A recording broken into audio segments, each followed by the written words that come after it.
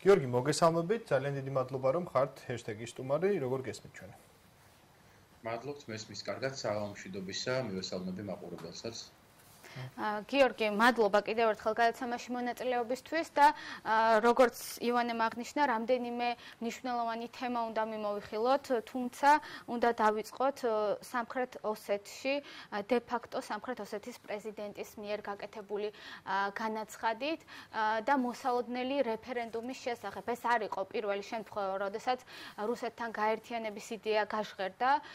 დე ფაქტო სამხრეთ ოსეთის რესპუბლიკაში, თუმცა საინტერესოა თქვენ თქვენი შეფასება რატომ მოხდა, რატომ გააქტიურა, გააქტიურდა საკითხი კონკრეტულად ახლა რა მიზეზები შეიძლება იყოს და რას უნდა ველოდოთ კონკრეტულად პროცესებიდან? ნუ მოცემულ შემთხვევაში ყველაზე მეტად მაინც სავარაუდოა ის რომ აღნიშნული მიმართულების გააქტიურება დაკავშირებულია მაინც ცხინვალის რეგიონში მიმდინარე პოლიტიკურ პროცესებთან მოგეხსენებათ რომ იქ დე-ფაქტო რეჟიმი ჩართულია წინასაარჩევნო კამპანიაში და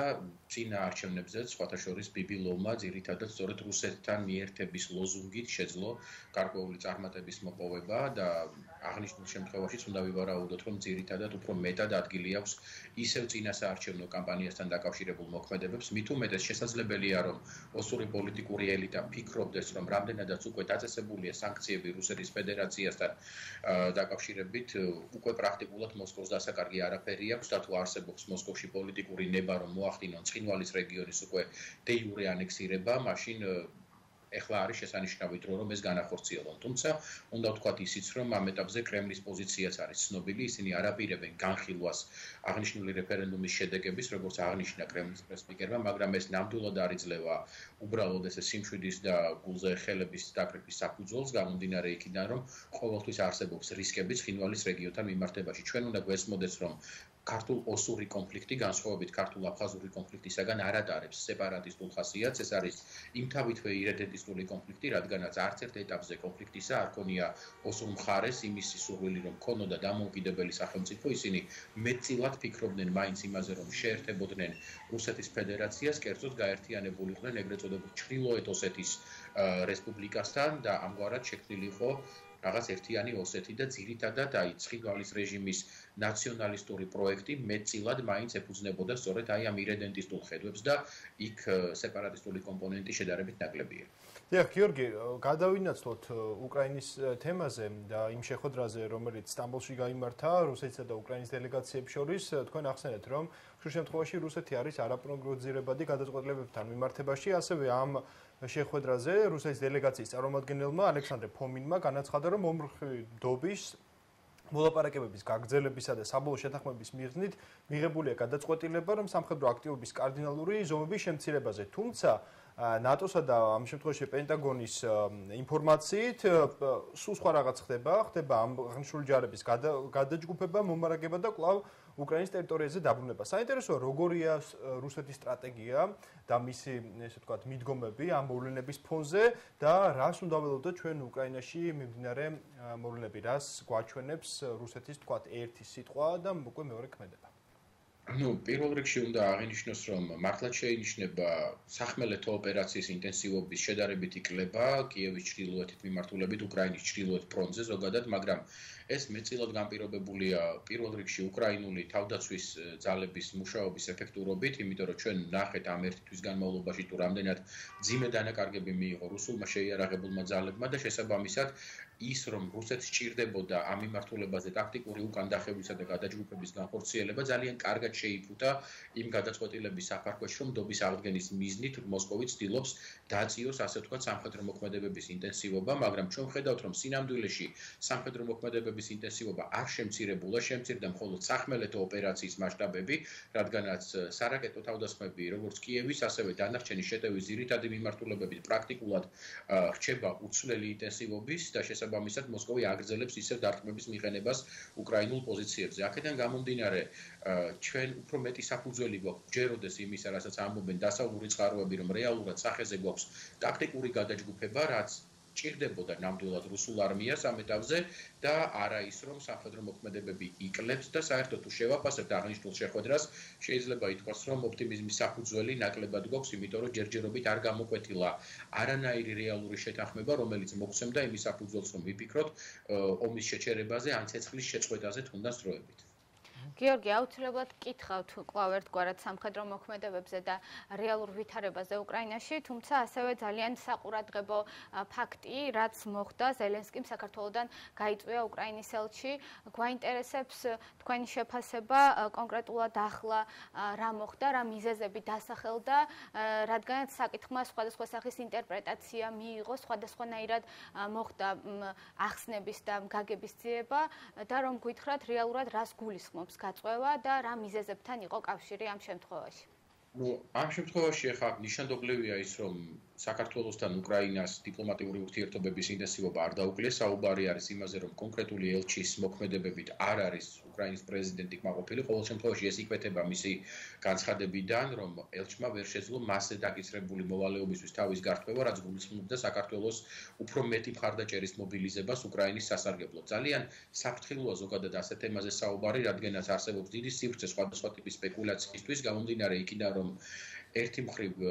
საქართველოს პოლიტიკური ელიტის ქმედებები აჩენს აღნიშნული სპეკულაციების საფუძველს და არის საკმაოდ ორაზროვანი, იმიტომ რომ ჩვენ ვხედავთ, რომ ერთ მხარეს სადაც ჩვენ მხარს ვუჭერთ ზოგადად უკრაინას ყველა საერთაშორისო ასპარეზზე, მეორე მხარეს კეთდება განცხადებები, რომელიც პრაქტიკულად აი ამ მხარდაჭერის ნიველირებას ახდენს და შესაბამისად ბადებს იმ შტაბეჭილებას, რომ თითქოს საქართველოს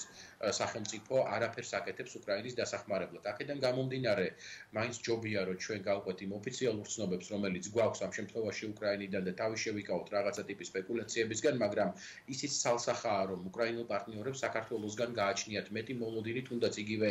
ემოციურ დონეზეც, რომ შევხედოთ, იმიტომ რომ ჩვენი და უკრაინული საზოგადოება არის მსგავსი ბედის მქონე საზოგადოება, იმიტომ რომ პრაქტიკულად ის რაც დღეს ხდება უკრაინაში წარმოადგენს საქართველოსი 2008 წელს დაწყებული პოლიტიკის პირდაპირ გაგრძელებას და აღნიშნულ კონტექსტში ალბათ საქართველოს მხრიდან მეტ აქტიურობას მოელოდა ერთი მხრივ უკრაინა და აქედან გამომდინარე ჩვენ უნდა წავიკითხოთ ამ ელჩის გაწევაში ერთგვარი მინიშნებაც საქართველოს თავრობისადმი, რომელიც აძლევს ქართულ სახელმწიფოს იმის საშუალებას, რომ თუნდაც აი სახე შეინარჩუნოს და თქვათ ის ფაქტი, რომ საქართველოს ხელისუფლება არასაკმარისად აქტიურად მოქმედებდა უკრაინელი პარტნიორების აზრით ისევ და ისევ ამას ხაზ გაუსვა ამ შემთხვევაში გამ მიეწეროს იმას, რომ ელჩი იყო არასათანადოდ ასე ვთქვათ ჩართული პროცესებში და შესაბამისად აქედან გამომდინარე სიმწე საქართველოს ხელისუფლებისთვის რომ ის გააქტიურდეს, რჩება კვლავ ღიად, როგორც ასეთი. რაც შეეხება მეორე მხრივ, რა თქმა უნდა, მნიშვნელოვანია იმის გააზრებაც, რომ ჩვენს მართლაც შეგვიძლია ვიყოთ დიპლომატიურად ბევრად უფრო აქტიურები თუნდაც და გარდა იმ ხარდაჭერისა, რაც უკვე აღმოუჩინეთ უკრაინაზე, რაც არის ძალიან მნიშვნელოვანი, კიდევ გადავდგათ დამატებითი ნაბიჯები თუნდაც იმ მიმართულებით, რომ მოხდეს საქართველოს თემის აქტუალიზაცია საერთაშორისო არენაზე, საერთაშორისო საინფორმაციო ველში, ელემენტარულად იმ მიმართულებით მაინც რომ აგვისტოში რუსეთის აგრესიასთან დაკავშირებული ეს მითოლოგიური წარმოდგენა, რაც არსებობს სამწუხაროდ კიდევ ცალკეულ ევროპულ პოლიტიკურ წრეებში, ერთხელ და სამუდამოდ გაქარწყდეს იმასთან დაკავშირებით, რომ თითქოს ჩვენი ბრალი იყო რაიმე იმაში, რომ რუსეთის ფედერაციამ განახორციელა აგრესია საქართველოს წინააღმდეგ. დიახ, გიორგი, დაუბრუნდეთ უკრაინის საკითხს და ამ შემთხვევაში მნიშვნელოვანია ვიცოდეთ თუ რა ხდება ამჟამად უკრაინაში, რა ვითარება სამხედრო თვალსაზრისით, რა მდგომარეობა დგას დღეს კიევში, მარიუპოლში, თქვენ რა ინფორმაციას ფლობთ, როგორი მდგომარეობაა ამ კუთხით, არის თუ არა რაიმე ცვლილებები, რა თქმა უნდა, პოზიტიური ცვლილებებსაც გულისხმობთ. Ну პირველ რიგში უნდა აღინიშნოს ის რომ ვერც ერთ აი ამ ძირითად შეტევით მიმართულებაზე რუსეთის შეიარაღებულმა ძალებმა არსებით წარმატებას ვერ მიაღწიეს თუმცა მნიშვნელოვანია იმის გააზრებაც, რომ თუნდაც იგივე მარიუპოლის დაცვა შეუძლებელია გაგრძელდეს ლოჯისტიკის მომარაგების გარეშე უსასრულოდ მიუხედავად იმისა, რომ გმირობის სამაგალითო მაგალითო სამაგალითო ასე ვთქვათ, შემთხვევასთან გვაქვს საქმე მარიუპოლის დამცველების მხრიდან და უნდა ვიფიქროთ იმაზეც, რომ ალბათ შეძლებს უკრაინელები მიაწოდოს დახმარება მარიუპოლში გამაგრებულ ქალაქის დამცველებს, იმიტომ რომ ეხა ეს არის ძალიან მნიშვნელოვანი დღეს უკრაინისთვის. იმავდროულად ჩვენ ვხედავთ, რომ იგივე სამხრეთის მიმართულებიდან, აღმოსავლეთის მიმართულებიდან და ჩრდილოეთის მიმართულებიდან რუსული შეტევა როგორც ასეთი მეწილად არის მაინც მოგერიებული, მაგრამ აქვე იკვეთება ტრანსფორმაცია უშუალო უშუალოდ რუსული გეგმებისა, იმიტომ რომ ნებისმიერი საომარი მოქმედება ჩვენ უნდა განვიხილოთ როგორც უპირველეს ყოვლისა საგარეო პოლიტიკური აქტი, რომელსაც გააჩნია გაცხადებული საგარეო პოლიტიკური მიზნები. და დღეს უკვე მოსკოვიდან ღიადის მის გზავნილები იმის შესახებ, რომ მათი ამოცანა განიცდის ტრანსფორმაციას, რაც პირდაპირ დაკავშირებულია ომის დინამიკასთან და შესაბამისად დღეს რუსეთის ფედერაცია ეცდება, რომ გააძლიეროს დაწოლა სამხრეთის და აღმოსავლეთის მიმართულებებზე განახორციელოს არამხოლოდ ეგრეთ წოდებული დონეცკისა და ლუგანსკის სახალხო რესპუბლიკების ტერიტორიების გათავისუფლება ბჭალებში უკრაინელებისგან, არამედ იმავდროულად დაიკავოს მნიშვნელოვანი ტერიტორიები უკრაინის სამხრეთ და აღმოსავლეთ რეგიონებში. გიორგი, კვლავ უნდა დაუბრუნდეთ მოლაპარაკებების თემას და ბოლო რაუნდი, რომელიც თურქეთში გამართა 29 მარტს. საინტერესოა გაჟღერებული, ასე ვთქვათ, მოთხოვნები და მოლოდინები, რაც მხარეებს ერთმანეთის მიმართ ჰქონდათ. უკრაინის მხრიდან ისევ არის ომის შეწყვეტა, უსაფრთხოების გარანტიები და ტერიტორიების აღდგენა, როგორც იყო რეალობა 23 თებერვლამდე, ხოლო რუსეთის მხრიდან კვლავ არის ნეიტრალიტეტის შესახებ დისკუსია და მნიშვნელობა და ასევე კვლავ გამოჩნდა დემილიტარიზაციისა და დენაციფიკაციის ცნებები კვლავ აქტუალური გახდა მათი გამოსვლების დროს. აი თითოეული თითოეულ მხარეს რა სურს, რა ვიცით ამ ფონზე და ერთგვარად დაბნეულობას იწვევს ისევ და ისევ ნეიტრალიტეტის შესახებ განმარტებები და მოსაზრებები რეალურად რა შეიძლება დავინახოთ რისი მიღწევა სურს ორივე მხარეს. და ასევე საინტერესოა უკრაინა კვლავ ითხოვს უშუალოდ ზელენსკის და პუტინის უშუალო შეხვედრას რამდენად უნდა ველოდოთ ამ შეხვედრას უახლოეს მომავალში. Ну პირველ რიგში უნდა აღინიშნოს რომ უკრაინისტვის ამ შემთხვევაში ყველაზე მნიშვნელოვანია საერთაშორისო უსაფრთხოების გარანტიების უზრუნველყოფა ხომ ისთვის იმიტომ რომ იგივე ნატოში გაწევრიანებას ჩვენ არ უნდა დავინახოთ როგორც ან უკრაინის გნებოთ საქართველოს ან რომელიმე სხვა ქვეყნის თვითმიზანი ანუ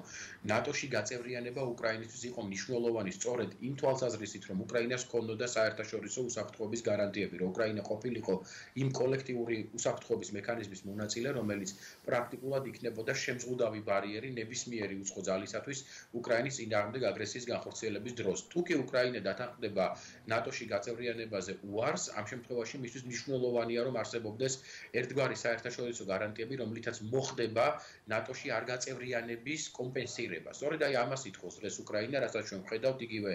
ამერიკის შეერთებული შტატების, თურქეთის გაერთიანებული სამეფოს, ისრაელის და სხვა სახელმწიფოების ჩართულობით და შესაბამისად გასაგებია ამ შემთხვევაში უკრაინის მიზანი, რომ მან მიიღოს მყარი უსაფრთხოების საერთაშორისო გარანტიები. სტანდარტები არა ისეთი, როგორიც მას ჰქონდა მაგალითად იგივე 94 წლის ბუდაპეშტის მემორანდუმით, როდესაც უკრაინამ პრაქტიკულად მესამე ბირთვული არსენალი ჩააბარა რუსეთის მხარეს უსაფრთხოების გარანტიების სანახავად. როგორც ნახეთ, ამან არ იმუშავა სამწუხაროდ და დღეს გვაქვს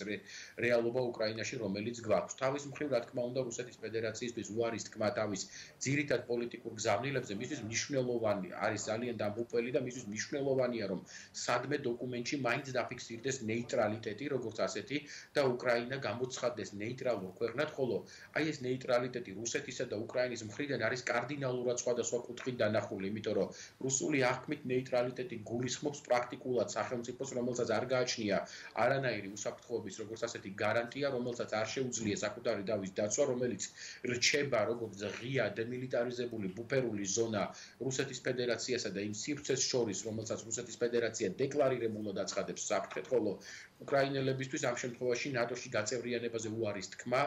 ნიშნავს იმას, რომ მას უნდა კონდეს ალტერნატიული გარანტიები. რაც შეეხება დენაციფიკაციას, ეს ისევ და ისევ მიუთითებს იმაზე, რომ ამ შემთხვევაში რუსული მხარე კვლავ ცდილობს აი ეს თავისი საინფორმაციო ნარატივი, რაც შექმნა იმისთვის, რომ თუნდაც საკუთარი მოსახლეობა დაერწმუნებინა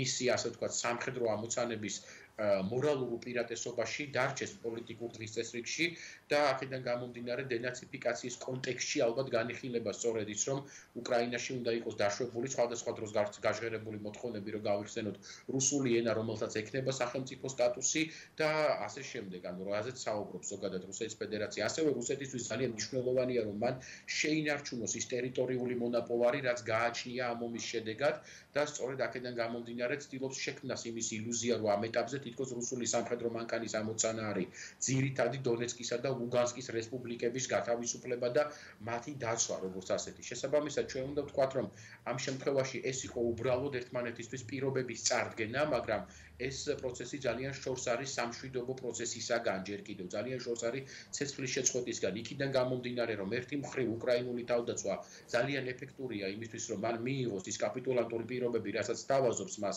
რუსეთის ფედერაცია მეორე მხრივ რუსეთის ფედერაცია არ არის ჯერ სათანადო დასუსტებული იმისთვის რომ მან უარი თქვას თავის თუნდაც პირველად პოლიტიკურ ამოცანებზე მეორეულ პოლიტიკურ ამოცანებთან ერთად. შესაბამისად ჩვენ უნდა ველოდოთ რომ მოლაპარაკებების პროცესი სამხედრო მოქმედებების ინტენსივობასთან ერთად კვლავ გაგრძელდება და მას ექნება საკმაოდ ასე თქვა დროში გაწელილი ხასიათი. ძალიან რთულია იმის პროგნოზირება დღეს თუ რამდენ ხანს შეიძლება გასტანოს სამხედრო მოქმედებებმა, მაგრამ ფაქტი ერთია, რომ ჯერჯერობით არც ერთი მხარე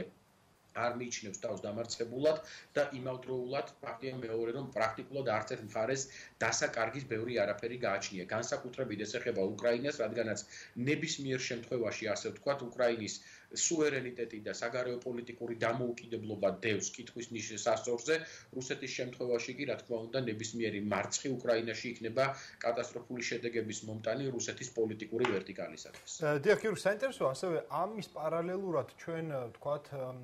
არაერთი კონფლიქტის შემსწრენი ვართ და ბოლო ინფორმაცია რაც გავრცელდა სომხეთის საგარეო საქმეთა სამინისტრომ გავრცელა 24 მარტს დაახლოებით 16 საათზე აზერბაიჯანის შეერაღებულმა ძალებმა გადაკვეთეს კონტაქტის ხაზზე სოფელი ფარუხი დაიკავეს რომელსაც მანამდე აკონტროლებდა დე-ფაქტო მთიანი ყარაბაღის არცახის რესპუბლიკა რეალურად რა მოხდა 24 მარტს და თუ ეს ფაქტი სიმართლეს შეესაბამება აზერბაიჯანის ეს ნაბიჯები რითი აიხსნება ისარგებლა თუ არა მან მომენტით აი ესეთი აზეც კი გაჟღერდა ხო? აი ამ მის ქცევებში რის წამოკითხვა შეგვიძლია აღსანიშნავია რომ არამხოლოდ სომხურმა არამედ რუსულმა მხარემაც დაადასტურა ის რომ აზერბაიჯანული შეიარაღებული ძალები მოქმედებდნენ რუსული სამშვიდობო ძალების სამშვიდობო მანდატის ზონაში როგორც ასეთი თუმცა რეალობა არის ის რომ აღნიშნული რეგიონიდან ზოგადად ნებისმიერი ტიპის ინფორმაცია გამოდის ცალსახად ორი მიკერძოებული წყაროდან, რაც გულისხმობს იმას, რომ ერთ მხარეს ყავს სომხური და რუსული წყაროები, მეორე მხარეს აზერბაიჯანული წყაროები და იქ პრაქტიკულად შეზღუდულია საერთაშორისო ორგანიზაციების, საერთაშორისო სადამკვირვებლო მისიების მოქმედება. შესაბამისად, ჩვენ უნდა ვივარაუდოთ, რომ დიახ, აზერბაიჯანულმა მხარემ ამ შემთხვევაში მართლაც განახორციელა ერთგვარი წინსვლა უკვე მთიანი ყარაბაღის უშუალო რეგიონის მიმართულებით, რაც სიმართლე გითხრათ, იყო მოსალოდნელი გამომდინარე იქიდან, რომ ყარაბაღის ეგრეთ წოდებული მეორე ომის შემდეგ არ დასრულებულა ხო სომხურ-აზერბაიჯანული კონფლიქტი, არსად არ წასულა ეს კონფლიქტი, გამომდინარე იქიდან, რომ მართალია აზერბაიჯანმა მოიპოვა კონტროლი ყარაბაღის მოსაზღვრე 7 რეგიონზე, ასევე მთიანი ყარაბაღის 25%-ზე, მაგრამ დანარჩენი 75% დარჩა აზერბაიჯანული კონტროლის მიღმა, შესაბამისად აზერბაიჯანისთვის მისი ტერიტორიული მთლიანობის საკითხი საერთოდაც არ მოხსნილა. დღის წესრიგიდან უბრალოდ კონფლიქტმა შეიძინა ახალი მიმართულება, ახალი მიმდინარეობა და შეიცვალა ის ადგილზე, რომ დღეს კონფლიქტის ზონაში ჩანან და დაფიქსირებულია რუსული სამხედრო ყოფნა, რუსის სამშვიდობოების სახით, რაც პრინციპში აქამდე უცხო იყო რეგიონისთვის. შესაბამისად, ამ ფონზე ჩვენ ხედავთ, რომ აზერბაიჯანი საკმაოდ მკაცრად პასუხობს რუსულ მხარეს და უნდა ვივარაუდოთ, რომ ამ შემთხვევაში აზერბაიჯანი ალბათ უკვე გადასულია ძალების მოსინჯვის რეჟიმში, რადგანაც ბაქოში კარგად აცნობიერებენ იმას, თუ რამდენად არის გართულებული რუსეთისთვის სამხედრო ოპერაციის წარმოება უკრაინაში, გავიხსენოთ უნდა ისიც, რომ ცოტა ხნის წინ, სანამ რუსეთში განახორციელებდა ინტერვენციას უკრაინის ტერიტორიაზე, ბაქომ და მოსკოვმა ხელი მოაწერეს ურთიერთმოკავშირეობისა და გაგების შესახებ მემორანდუმს, შესაბამისად აღნიშნულ პარგლებში ბაქოში არსებობს მოლოდინები, რომ რუსეთის ფედერაცია ვერ შეძლებს რომ ერთი მხრივ საერთოდაც დაიცვას მისი მოკავშირე სომხეთი და მეორე არ ეცდება ხელი შეუშალოს მის ახლად ფორმირებულ მოკავშირე ძალას დამატებითი პოზიციების გამყარებაში მთიანი ყარაბაღის მიმართულებით. ასევე ბაქოში შეიძლება ვარაუდობენ იმასაც, რომ დღეს რუსეთის უკრაინაში ამხელა ჩართვით გაჩენილია ყარაბაღის მიმართულებით უსაფრთხოების ერთგვარი ვაკუუმი, რომლის შევსებასაც აუცილებლად ეცდება შედარებით ძლიერი ძალა, ხოლო სომხურ-აზერბაიჯანულ დაპირისპირებაში როგორც ეკონომიკური, ისე სამხედრო თვალსაზრისით გაცილებით უფრო მეტი შესაძლებლობა გააჩნია აზერბაიჯანულ მხარეს, ვიდრე სომხურს და სწორედ აი ამ ფაქტს უყურებთ დღეს ჩვენ, მაგრამ ეს არ ნიშნავს, რომ რაღაცა ხელახალი დიდი ესკალაცია მოსალოდნელი, თუმცა თავის დავაცხადია, რომ ბაქო ცდილობს გაიმყაროს პოზიციები, თუნდაც შემდგომი მოლაპარაკებებისთვის, რომელსაც აუცილებლად ეკნება ადგილი, მას შემდეგ რაც უკრაინაში უკვე პროცესები დაექვემდებარება გარკვეულ კონტროლს. და ემზადება იმ სცენარებისთვის, რომელიც შეიძლება დადგეს იქიდან გამომდინარე თუ როგორ დასრულდება რუსულ-უკრაინული სამხედრო დაპირისპირება. როგორც მედია საშუალებებით ხდება ცნობილი, სომხეთის და აზერბაიჯანის პირველი პირები ერთმანეთს 6 აპრილს ბრიუსელში შეხვდებიან შესაბამისად აუცილებლად მივადევნებთ მიმდინარე პროცესებს თვალს. ბოლოს კი გიორგი აუცილებლად უნდა გკითხოთ რუსეთის აგრესიის ფონზე როგორ შეიცვალა თქვენი დაკვირვებით დღის წესრიგი რიგმა ქვეყნებმა გაზარდეს ბიუჯეტი კონკრეტულად თავდაცვის მიმართულებით. შესაბამისად საინტერესოა ერთი ეს მხრივ რა ხდება ევროპის ქვეყნებში და ამ ყველაფრის ფონზე სად არის დღეს საქართველოს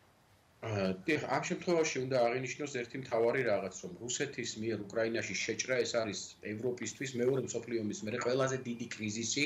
რაც კი დამდგარა ევროპული უსაფრთხოების პოლიტიკის დღის წესრიგში საერთოდ და აქედან გამომდინარე, რა თქმა უნდა, მოხდა ძალიან ბევრი მიდგომის გადაფასება. ჩვენ ხედავდით, რომ ჯერ კიდევ ელცინის ადმინისტრაციიდან მოყოლებული მერე პუტინის ადმინისტრაციასთანაც არსებობდა ერთგვარი ესეთი დამოკიდებულება ევროპელი ლიდერების მხრიდან, რომ რუსეთი იყო უფრო მეტად შესაძლებლობა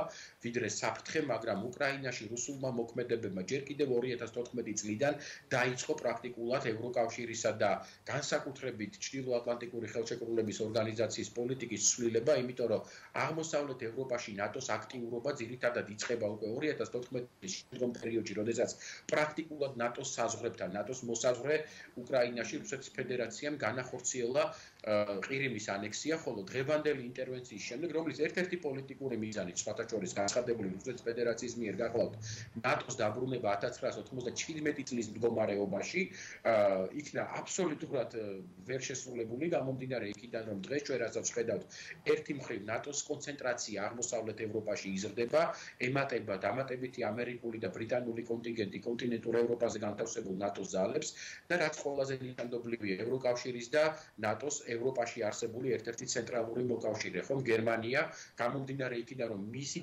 დიპლომატიისთვის მშვიდობა ყოველთვის წარმოადგენდა ერთ-ერთ უპირობო ღირებულებას, იწყებს შეიარაღებული ძალების ბიუჯეტის კარდინალურ ზრდას, მაგალითად, როგორც დააფიქსირა გერმანიის კანცლერმა შოლცმა, მარტო ერთ წელიწადში 56 მილიარდიდან დაახლოებით 156 მილიარდ ევრომდე გაიზრდება გერმანიის თავდაცვის ბიუჯეტი, რაც ნიშნავს, რომ გერმანიამ დაიწყო სამხედრო პოლიტიკის მიმართულებით 180 გრადუსიანი შემოტრიალება. ასევე გერმანიამ პირველად დაუჭირა მხარე ასე ღიად გერმანული შეიარაღები შეიარაღების გადაცემას მესამე ქვეყნებისთვის და თვითონ გერმანიამ დაიწყო უკრაინისთვის გადაცემა თავდაცვის საშუალებების, მათ შორის არის როგორც ჰაერსაწინააღმდეგო, ისე ტანკსაწინააღმდეგო და ბოლოს გაჟღერებული ინფორმაციით ბუნკერსაწინააღმდეგო შეიარაღებაც, რაც ძალიან დიდ მნიშვნელობას ატარებს იმ პერიოდში, როდესაც უკრაინელებს მოუწევთ გამაგრებული რუსული პოზიციების დაკავება ან გამაგრებულ რუსულ პოზიციებზე იერიშის მიტანა. ჩვენ რასაც ვაკვირდებით ამ ეტაპზე პრაქტიკულად ნატომ შეიძინა თვისებრივად ახალი ფუნქცია და დატვირთვა, იმიტომ რომ თუკი აქამდე.